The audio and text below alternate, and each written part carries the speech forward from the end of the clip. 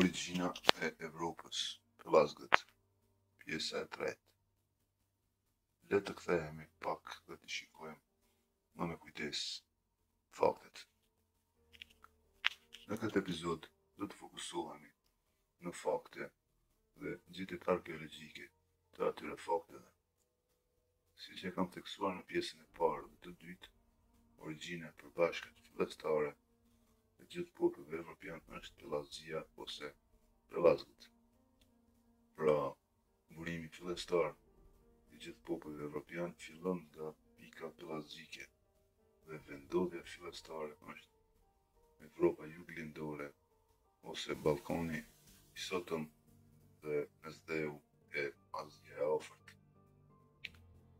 Në këto regjione gjinden dhe të gjitha ndërtimet megalitike, ciklopike etj. më të vjetra në gjithë botën. Ku normalisht kemi edhe rënojat më të vjetra dhe më të mëdha të gjithë civilizimeve më të vjetra. Po ashtu pra edhe vendodhja e qyteteve dhe perandorive më të vjetra nëpër gjithë historinë njerëzore kanë si pikënisje dhe origjinë autoktone po në këtë regjion.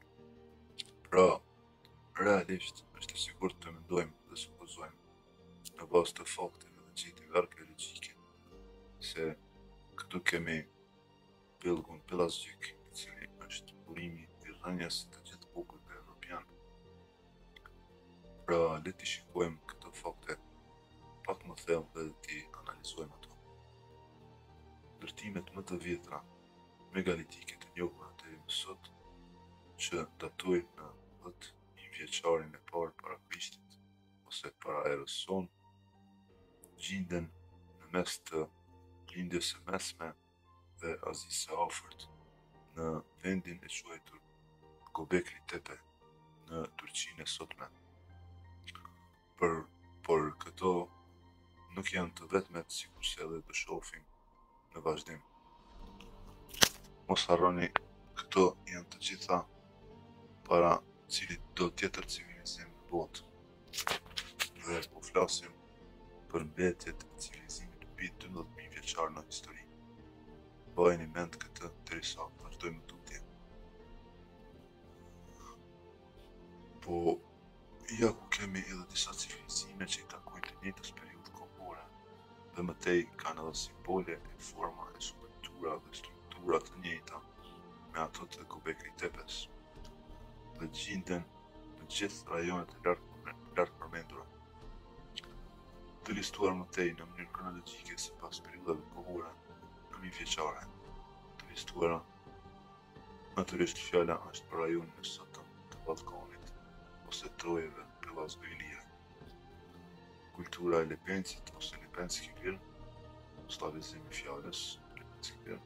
dhjetë deri në gjashtë mijë vjeçarin para Krishtit ose para erës sonë. Kultura e Vinçës gjashtë mijë vjet para Krishtit ose para erës sonë. Kultura e Sesklos gjashtë mijë vjet para Krishtit ose para erës sonë. Kultura Butmir pesë mijë vjet para Krishtit ose para erës sonë. Kultura Hamanxhia pesë mijë vjet para Krishtit ose para erës sonë. Kultura Bojan katër mijë vjet para Krishtit ose para erës sonë Kultura e Varnas katër mijë vjet para Krishtit ose para erës sonë Kultura e Tripoli tri mijë vjet para Krishtit ose para erës sonë Kultura e Arzaçenas tri mijë vjet para Krishtit ose para erës sonë Kultura e Ozierit tri mijë vjet para Krishtit ose para erës sonë Kultura e San Ciriakos, tri mijë vjet para Krishtit ose para erës sonë në Itali, ku shfaqet edhe Terra Alba.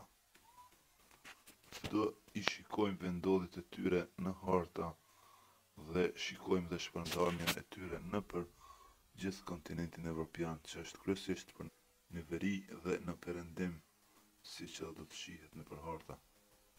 Pra, të gjithë kulturat e përmendura në mënyrë kronologjike janë të njëjtat periudhë kohore dhe i njëjti rajon në fjalë. Po ashtu kanë gjetje arkeologjike, skulptura dhe forma e simbole të njëjta dhe gjinden në afërsi me njëra tjetrën dhe kanë vazhdimësi kontuinitet të pandërprerë të gjitha në Evropën juglindore gjegjësisht në atë që quhet më vonë Iliri ose Ilirikum. Për më tej, kontinuiteti, vazhdimësia e banorëve të këtyre trojeve gjithmonë ka qëndru i njëjtë dhe vetëm shpërngulje migrim Nga Azia e afërt i popujve në troje tjera ka qenë në ardhjen e etruskëve dhe baskëve dhe keltëve e nordikëve që është shumë shumë më i vonshëm. Si shihet qartë nëpër harta dhe gjithashtu konfirmohet në gjetjet arkeologjike nëpër periudha e rajone të migrimit në veri dhe perëndim të Evropës, që përkon me kolonizues të parë të kontinentit evropian me prejardhje nga Pellazgia si vend i tyre i origjinës. Siç e dimë, nga Odiseja dhe Iliada e Homerit, ku përshkruhet në detaje të sakta për Dardanin si themeluesin e Trojës dhe pasuesit e tij Ilionin dhe Trojanin, stërgjyshin e Priamit, i cili si mbret legjendar i Trojës eksplicitisht dhe saktësisht cilësohet si Dardan nga babai i historisë Homeri. Po ashtu në shkrimet antike të Egjiptit, hititët dhe myzianët përmenden si aleatë dhe të lidhur ngushtë në betejën e Kadeshit në shkrimet një mijë e treqind para Krishtit ose para erës sonë, ku ceket dhe theksohet se Dardania është emërtim i vendit dhe popullit njëkohësisht, të cilën hartat dhe skulpturat dhe gjetjet tjera e konfirmojnë, siç do të shohim më tej. Tash le të shikojmë disa nga skulpturat identike të gjetura në ato vende të përmendura më herët. Skulpturat që pamë, të gjitha quhen dhe ju referohen si nëna apo nona, gegnisht, apo nona e madhe. Skulptura nga kultura Sesklo është quajtur nga studiuesit nana.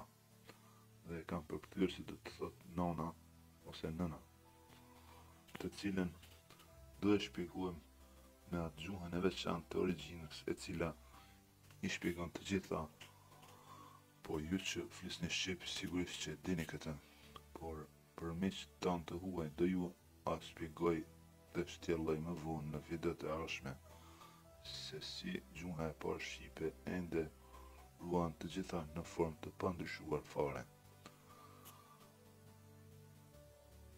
Pra, duke përdorur pra të gjitha ato kultura në thonjëza të ndryshme, të ndara me mija e mija vjet në mes dhe duke përdorur simbole e forma e skulptura komplet identike dhe të gjitha duke përfaqësu Nana e Madhe ose të cilën më vonë e gjejmë edhe me emërtime të tjera si Inana dhe Ishtar e Isis dhe Aset e tjera.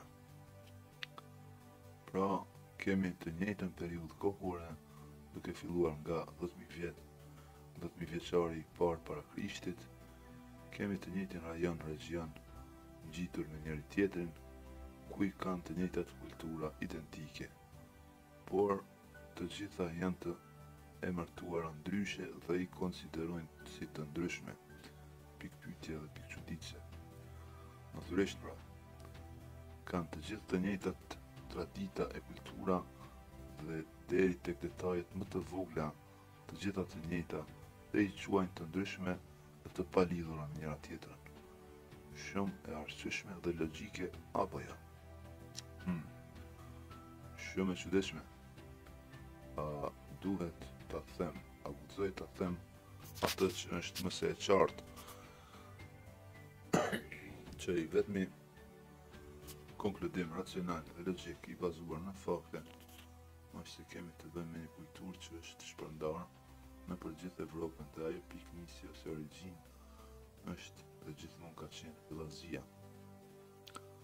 Mendoj se faktet flasin shumë qartë se ashtu është, por në qoftë se këto nuk do mjaftonin, Kemi edhe babain e historisë Homerin i cili i përshkruan në detaje edhe formimin e civilizimeve të reja, sikur Dardanat civilizim parahelen, Etruskat civilizim pararomak, dhe fiset dhe kombet e tjera si Baskët, Keltët, Nordikët e tjera. Shpërndarja e tyre në kontinentin Evropian gjithashtu është më se e qartë dhe mund të përcillet saktë në mënyrë kronologjike në bazë të gjetjeve arkeologjike në tërë Evropën. Përfundimi i vetëm që na mbet është të, të gjitha rrjedhin nga një dhe ajo një është Pellazgjia. Pyetja se kur filloi të shkatërrohet dhe shpërndahet nga invazionet shkatërruese dhe shpërbërëse të cilat erdhën kryesisht nga dy drejtime, nga jugu i largët dhe lindja e largët, të cilat do i trajtoj në videon e radhës. Fundi i pjesës së tretë, faleminderit për vëmendje dhe shikim, në vazhdim do i përkthej edhe videot e tjera që i kam në anglisht në kanalin kryesor European History.